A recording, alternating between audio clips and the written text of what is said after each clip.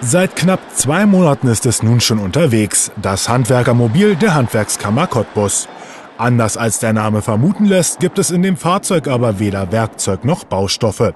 Es ist vielmehr eine Geschäftsstelle auf Rädern und damit einzigartig in ganz Brandenburg. Jeweils zwei Mitarbeiter sind so im gesamten Kammerbezirk unterwegs. Sie beraten Firmen, besuchen Schulen oder bieten Weiterbildungsmöglichkeiten. Letzteres war heute der Fall. André Schellhase und Glenn Skole haben nämlich vor dem Obeta Elektro Großhandel in der Gubener Straße Halt gemacht. Hier sprechen sie direkt Facharbeiter aus der Elektrobranche an. Ja, Obeta haben wir uns heute ausgesucht, weil hier die ganze Elektro, der ganze Elektrokundschaft herfährt. Das sind alles unsere Mitgliedsbetriebe. Da sind junge Leute bei, da sind gestandene Meister bei, die wir beraten wollen zu aktuellen Weiterbildungsmöglichkeiten, vielleicht auch zur Nachfolge, dass wir einfach ins Gespräch kommen.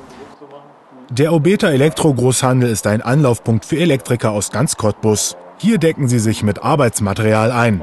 Mit entsprechend vielen Handwerkern kommt die HWK so in Kontakt.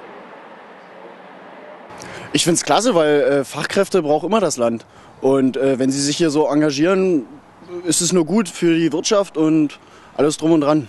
Die Handwerkskammer bietet mit diesem Infomobil äh, natürlich eine sehr breite Fläche. Man kann halt in Schulen fahren, man kann sich hier bei uns als Elektrofachgroßhandel natürlich mit den Kunden direkt gleich unterhalten.